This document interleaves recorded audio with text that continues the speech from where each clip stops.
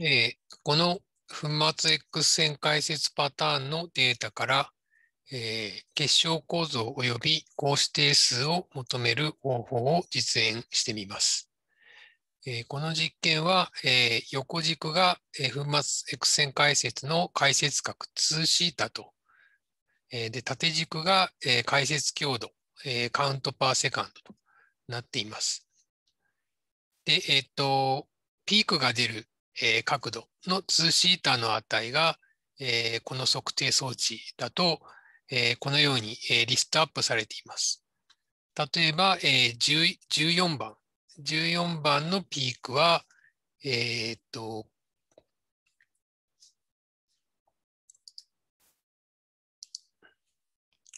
ここのピークが、えーここの角度、14番が32.200度という、えーところ、ことに相当します。このこの部分が、この 2θ が、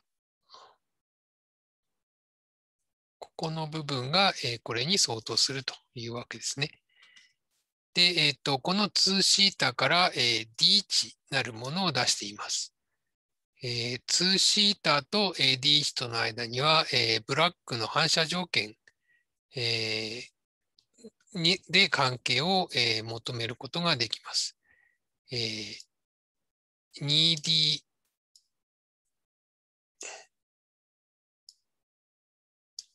サインシータイコール、えーラムダという、えーブラックの反射条件というのがありまして、えーこの測定装置では、えーと、カッパーの Kα 線を用いておりますので、えーラムダイコール1.54えー、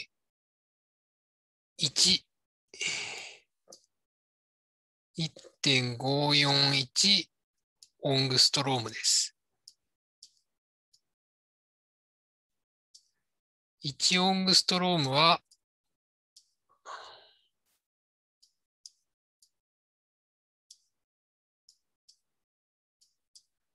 10のマイナス10乗マイナス10乗メートルです。えーなので、えー解説ピークの角度32.20というのが分かる分かれば、えー、と 2θ の値から、えーこの sinθ が分かって、ラムダにこれを代入すると d の値が分かりまして、えーこの d の値が2.7776、えーオングストロームであるということが、えー分かるわけです。えーそれで、えっと、この実験データ、まあ、見ての通り、えー解説ピークがたくさんあるわけなんですけども、えーこのプロファイルから、えー結晶構造、えーおよび高指定数を、えー同定しています。えー最初にどういう結晶構造かというのを、えー仮定して、それが正しいかどうかというのを探さなければなりません。えーそれが、えーこの解析で、まあ、一番大変なところなんですけれども、えーまあいろいろな苦労の末に、えー結晶構造が、えー見つかったとしてみましょう。で、見つかった結晶構造が、えっ、とですね、次のようなものであったと仮定します。えっと、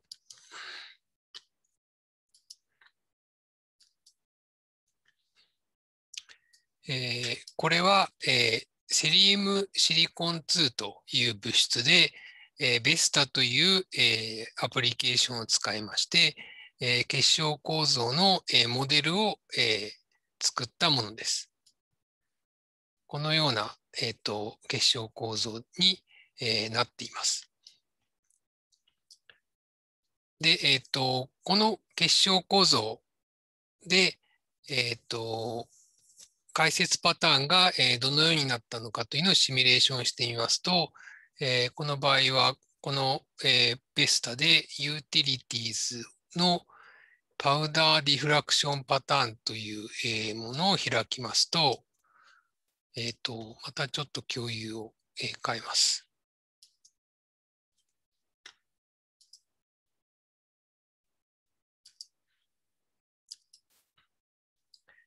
えー、先ほどの、えー、結晶構造から、えー、高指定数、えーあえーと、結晶構造から、えー、解説パターンを、えー、計算で求めると、このような、えー、形に、えー、なります。えーまあ、この解説パターンが、えー、先ほどの実験データとおおむね合っていれば、えー、この物質はこの結晶構造であるということができるわけです。えー、それでは、えー、このシミュレーションをした時の、えー、解説角が、えー、それぞれのピークの位置がどのようだったかというのを、えっと表示してみましょう。えー、この、えー、っとシミュレーションで、えー、リクレフリフレクションズというタブを、えー、開きます。えー、このように、えー、なっています。えー、例えば、先ほどのプロットで一番ピークが大きいところ、えー、30数度ですかね。30数度のところというのが、えー、このリフレクションのデータで言うと、えー、っと、どこになるのかなこれですかね。えっと、32.4872というのと、えっと、32.56というところがあります。えー、ここがピークの解,、えー、解説角、えー、と2シータで、えー、ここの i というのがインテンシティ。一番強いところで、この辺りだと100が一番大きいんですけども、この、ここでの解説ピークというのが、えー、先ほどのここちょ、ちょうどあの解説強度が100になっていますね。え、になるわけです。ということは、え、先ほどのシミュレーションのピーク位置、角度が、えっ、と、32度がどこだったかな？ここか。ここだったということが、えー、言えます。えー、それぞれの解説ピークには、えー、名前がついています。えっ、と、指数というふうに、え、言うんですけども、えっ、と、指数は HKL という3つの整数で表します。ここでは112に相当するわけです。で、あの、この112のピークというのが、えー、先ほどの実験データでいうところの、また共有を、えー、と変えますけれども、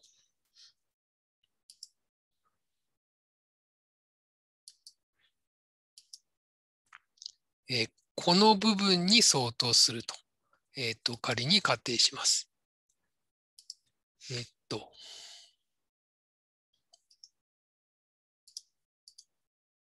ここが112であると。いうふうに、えっと、考えます。同様な感じで、他にも、使えるリフレクション、大きなリフレクションがないかというのを考えます。例えば17番。17番は、えっと、この図で言うと、ここの部分が、ここですね、37.5度というところです。37.5度というのが、えー、先ほどのシミュレーションにあるかというのを、えー、見てみますと、えっと、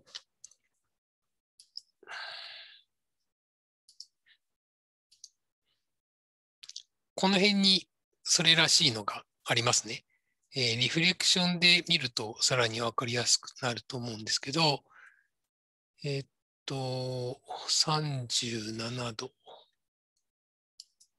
これがそうですかね。えっ、と、38度でしたね。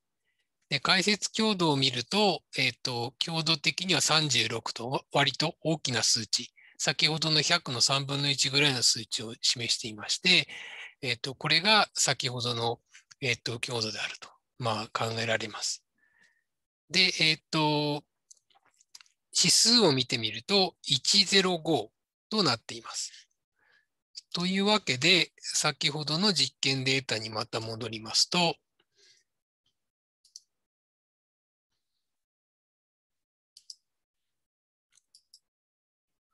この17番のピークというのが、105と、10指数が105であるというふうに、えー、仮説が立てられます。同様な感じで、えーと、他のプロットに関しても、えー、類推を、えー、してみます。えー、20番が、えー、ここですね。ここの20番っていうのが、えー、42.54。えー、これは、えー、先ほどのシミュレーションに、えー、戻りますと、えっ、と、まあ、経過は省略しますけども、200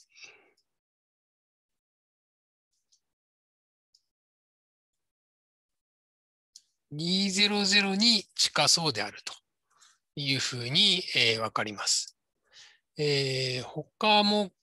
あの探してみます。あのこれはその数が多ければ多いほど、えー、より正確な、えー、正確にこう指定数を、えー、見積もることが、えー、できるんですけれども、えーと、例えば、えーと、9番を見てみましょうか。9番は27.88。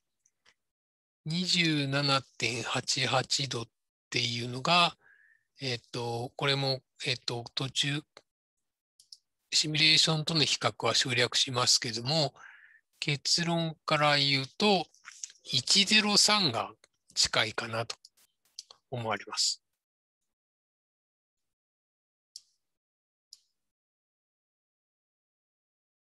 このような感じで、えっと、実験データに関して、えー、セリウムシリコン2という結晶構造を仮定して、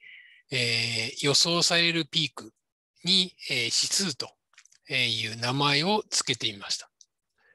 えー、この指数があの割と、重要で、えーと、ここからあの高指定数、えー、なるものを、見積もっていくことが、できます。えー、ちょっとシミュレーションした時の、えー、格子模型に戻ります。えっと、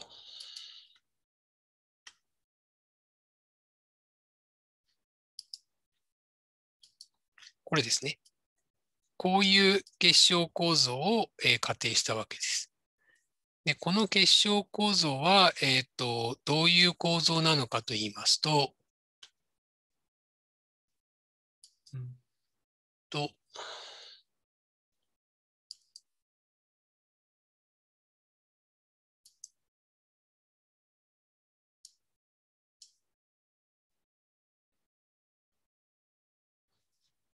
これは、えっ、ー、とですね、一旦、ちょっと一旦共有切りますね。えー、っと、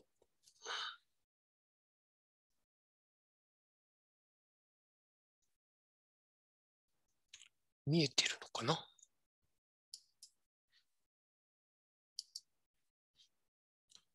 えっと、この結晶構造はいろいろあのデータを、えー、見てみますと、えー、テトラゴナルであると。いうことがわかります。テトラゴナルであるということを文献から探し出してきまして、で原子の配置を、えー、と入力して、えー、と適用させて、えー、このような結晶構造を、えー、見積もった、えー、わけですね。それで、えっ、と、このテトラゴナルであるという情報と、えー、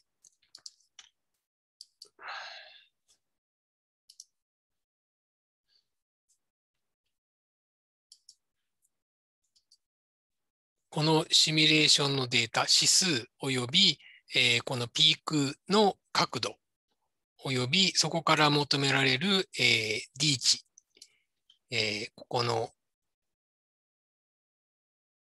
D の値から、えっ、ー、と、高指定数を、えー、計算することができます。求めるには、えっ、ー、と、手計算でもできるんですけれども、えー、ここではまた別のアプリケーションを使います。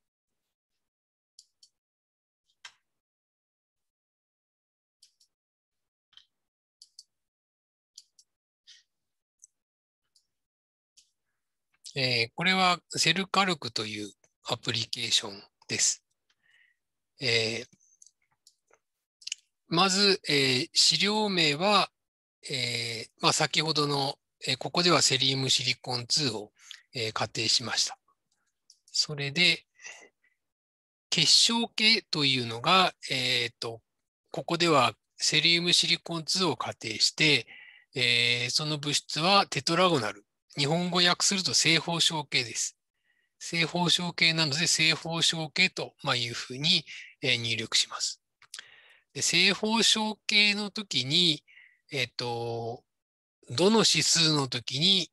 D 値がどうなのかっていうのをここに入力していきます。えー、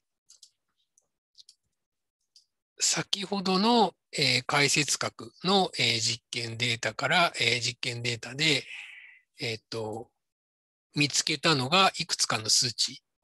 103という指数と、えー、次に112次に1005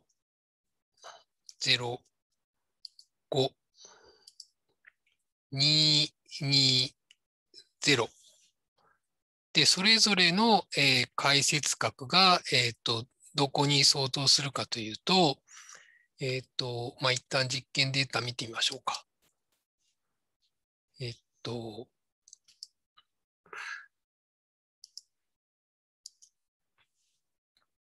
今、解説ピーク、えー、名前付けたところが、これとこれとこれとこれ4つありまして、103に対応する D の値っていうのが3.1974。112っていうのが2.776。105が37点、あ、2.3963。200がこれだとしました。つまり、えっと、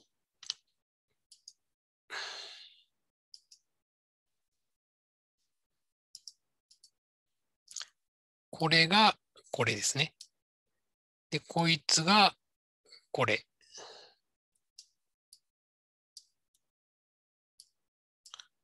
で、こいつが105っていうのがこれ。で、200がこれだとしまして、えー、それぞれの D 値、この値に注目して、それぞれを先ほどの、えー、セルカルクというアプリケーションに、え、入力していきます。そうすると、うんと、103が、さえっと、3.1974。えっと、次が、112が2.7776。えー、3番目。えっ、ー、と、105が2.3963。220が2.1234という感じで、えっ、ー、と、必要なデータを入力して、計算ボタンを押すと計算してくれます。実行します。えー、実行すると、えっと、高指定数に対応するのがこれですね。A の値と C の値というのを、えー、求めることが、えー、できました、えー。この数値が高指定数に相当して、単位は、えー、オングストロームえっ、と、という単位です。で、そのこちらの、えっ、と、値が標準偏差に相当します。えー、誤差ですね。えー、つまり、えー、高指定数を見積もることができたわけです。ここで、えー、先ほどのベスタに戻りますと、うんと、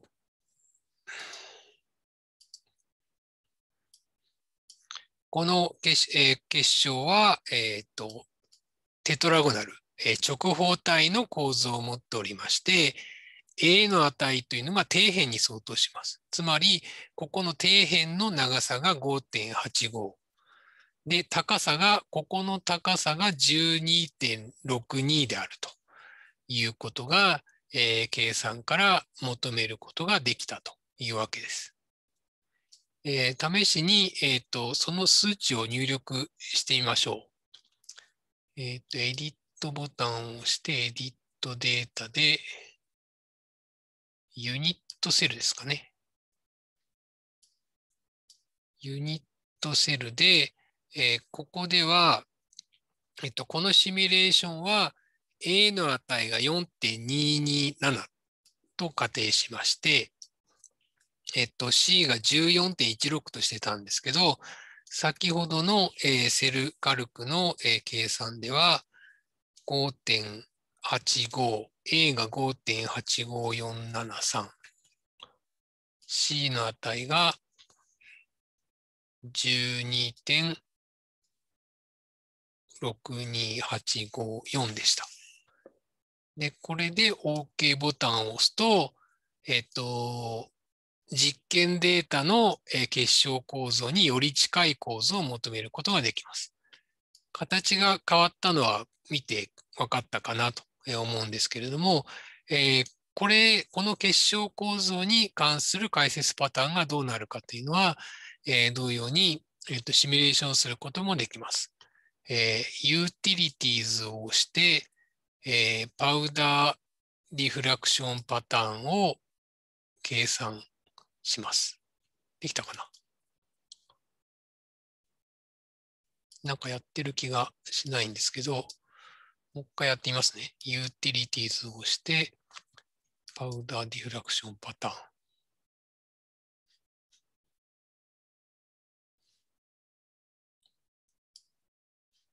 ーン。うんと、おかしいな。あ、そうか。ここに隠れてるのかな？もう一回やってみますね。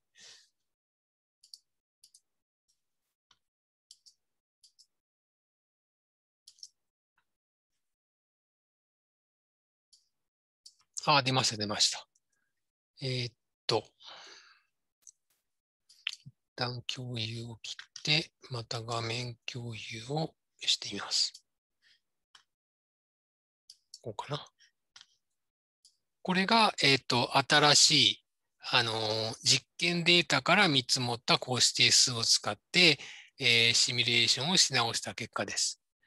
で出てきた結果を、え、見てみると、より実験データに近,、え、近しい解説パターンであるということが、えーと、わかると思われます。